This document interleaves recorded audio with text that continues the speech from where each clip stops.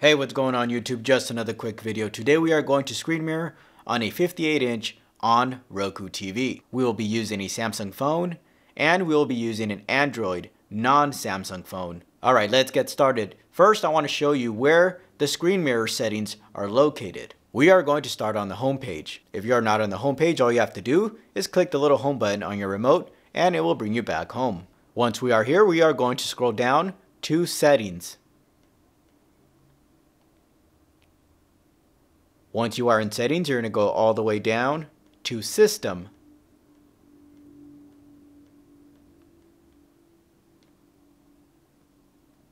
Once you are in system, you're going to go down to screen mirroring.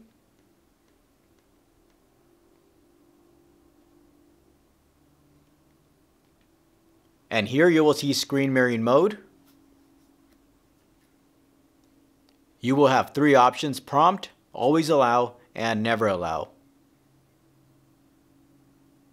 And for now, I have mine set to always allow. And right under that, you will have screen mirroring devices. Now, if you do not see this on your screen, we can go all the way down to advanced system settings. And under advanced system settings, we're going to go down to device connect. And you need to make sure that enabled device connect is selected.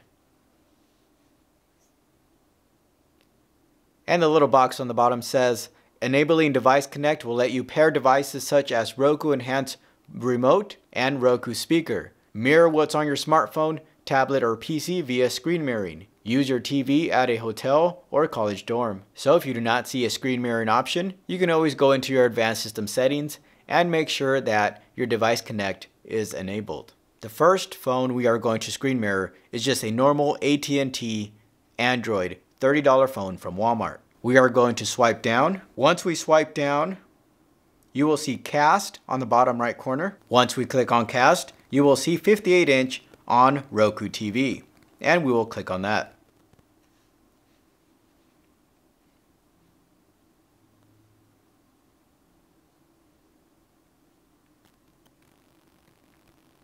And we have successfully screen mirrored with a $30 Android phone.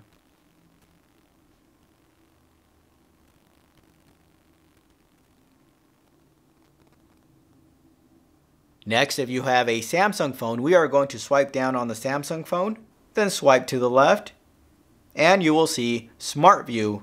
We will click on Smart View, and here you will see 58 inch onn Roku TV. We'll click on the 58 inch Roku TV.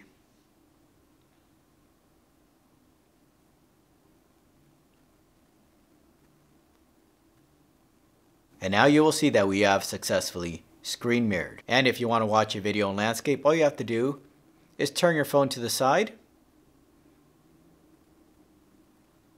and you will be able to see your phone in landscape mode. If this video has helped you out, please give this video a thumbs up. It really helps with the YouTube algorithm. Before I end this video, I want to thank everyone who has liked and subscribed. Thank you for helping me grow this channel. If you would like to see similar videos like these, please consider subscribing. Thanks for watching. I'll catch you guys next time.